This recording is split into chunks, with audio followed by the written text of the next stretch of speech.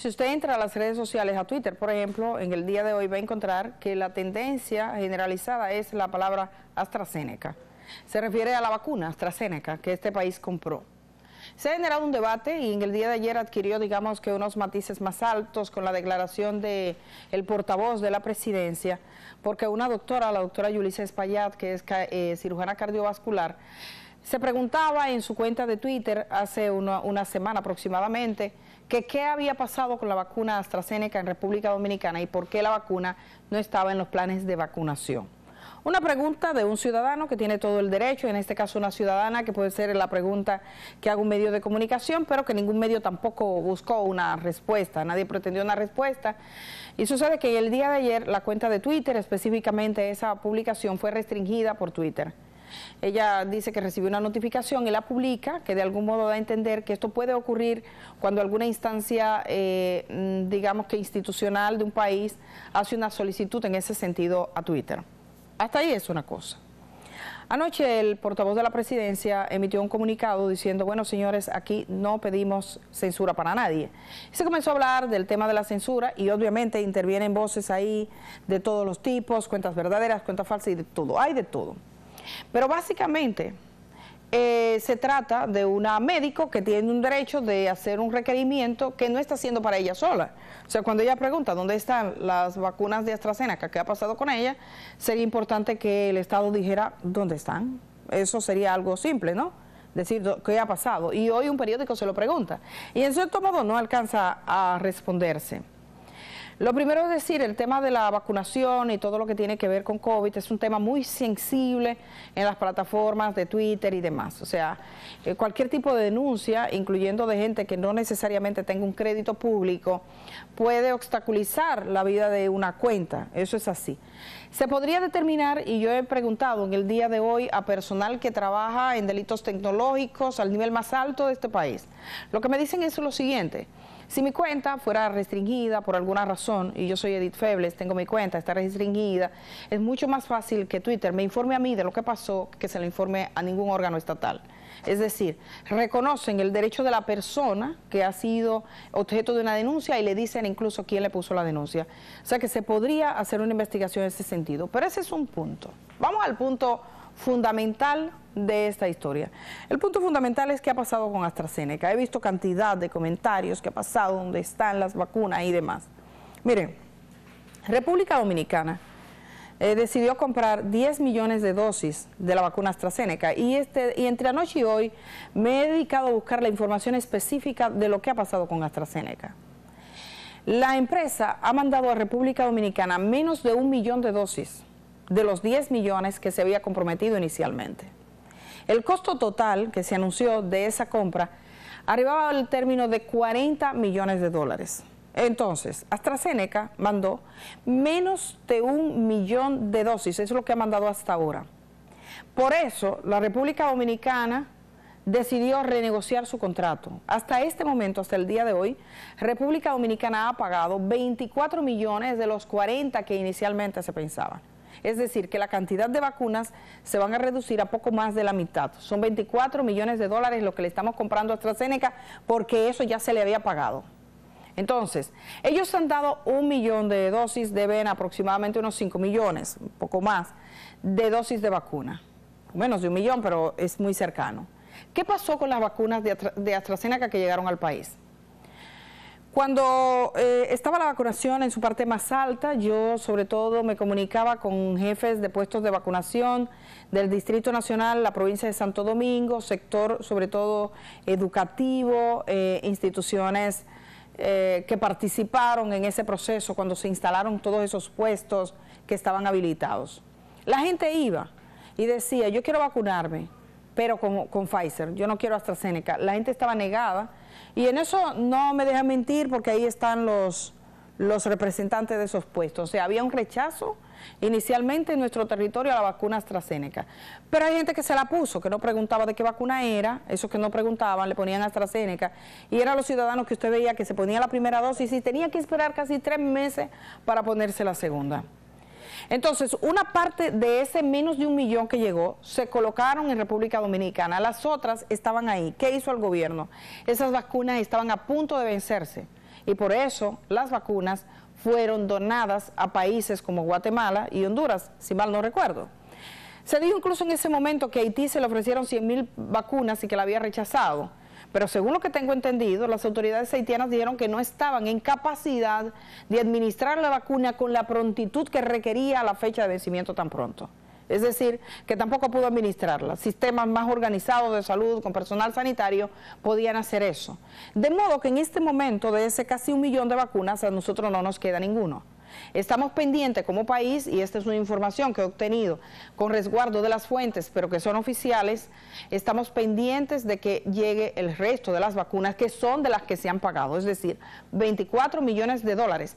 De esos 24 millones de dólares hay una donación que hizo el sector privado de 8 millones de dólares. En cierto modo, AstraZeneca ha quedado mal a la República Dominicana.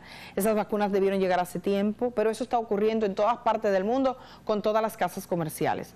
Porque era una situación, cuando comenzó el tema de las vacunas en el mundo, de decirle, esto es lenteja, la comes o la dejas. O sea, esto es lo que hay. Esto es lo que hay y los gobiernos y los países firmaron contratos. Son contratos que han pasado por el Congreso Nacional, no son ocultos. Si ustedes buscan en los contratos, hay cláusulas, por ejemplo, de confidencialidad y de muchas oportunidades para esas grandes empresas farmacéuticas del mundo que yo pienso que es una tarea pendiente, no de República Dominicana solamente, nosotros somos, eh, qué sé yo, un granito de arena en el inmenso mar tiene que ser del concierto de naciones, Naciones Unidas y demás órganos internacionales, de regular que este sea una lección de la pandemia. No puede ser que la salud esté en las manos del mercado y que así funcione. Debe haber normas. Ya a esta altura de juego los países del mundo organizados debieron de tener normas claras. Y nosotros en los temas pequeños, como por ejemplo en las pruebas de antígenos, que no puede ser que una prueba de antígeno que cueste 200 pesos te la haga en un laboratorio por 2.000 aunque es libre mercado, es salud y eso debería tener algún tipo de regulación. Pero les comento esto para que sepan qué está pasando con AstraZeneca, no hay misterio, no ha llegado. Lo que pasa es que este gobierno tiene serias dificultades para decir las cosas a pronto y a tiempo. Eso debería estar disponible en las páginas abiertas, porque no, si no hay secreto, o sea, no ha llegado, no ha llegado, no está en la cosa, bueno, porque no, no está, porque no la tenemos. Es tan simple como eso.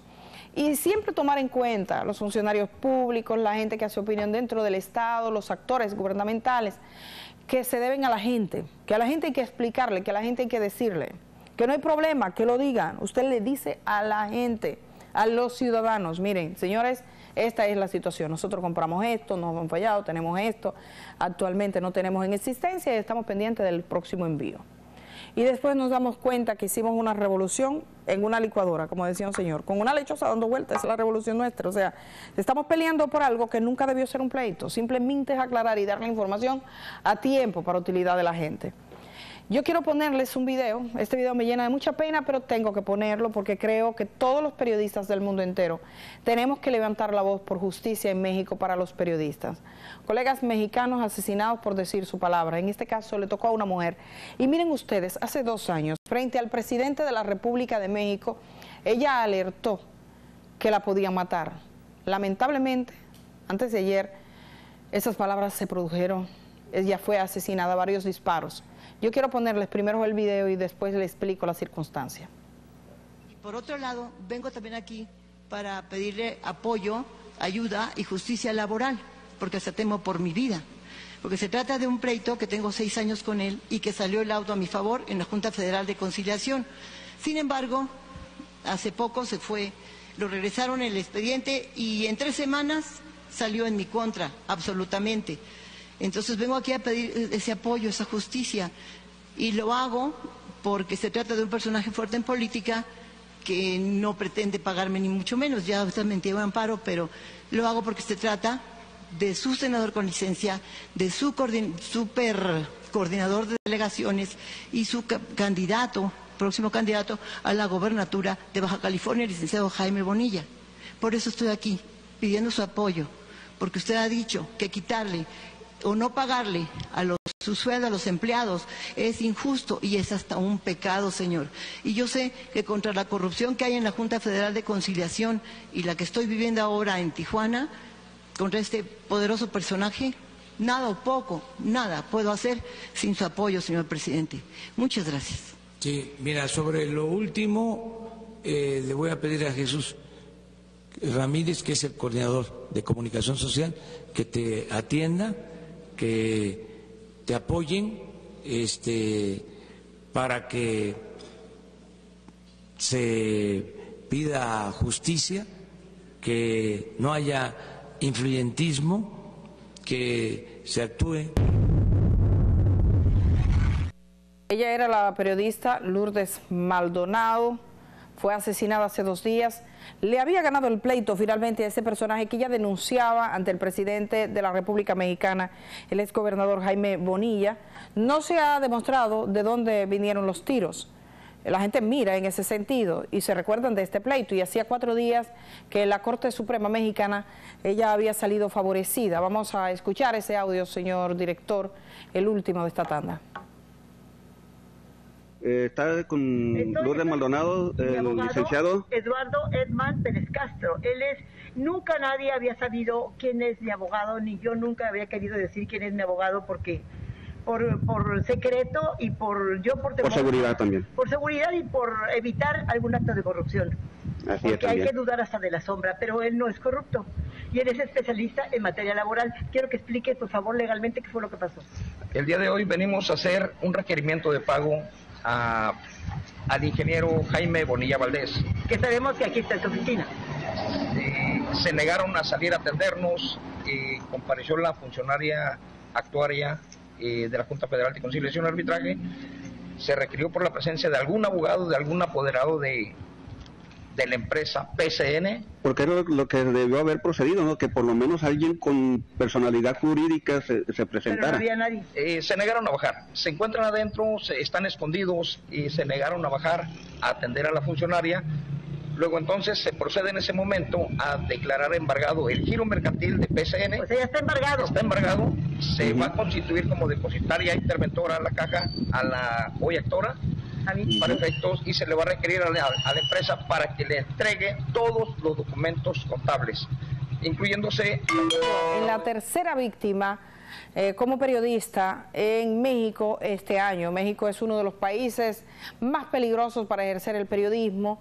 Eh, hace una semana mataron a otro colega suyo ahí mismo y eh, antes habían asesinado a otro periodista, quiere decir que es la tercera, Lourdes Maldonado. Abogamos desde aquí, desde República Dominicana, porque siempre impere la justicia para este tipo de casos que sea debidamente investigado.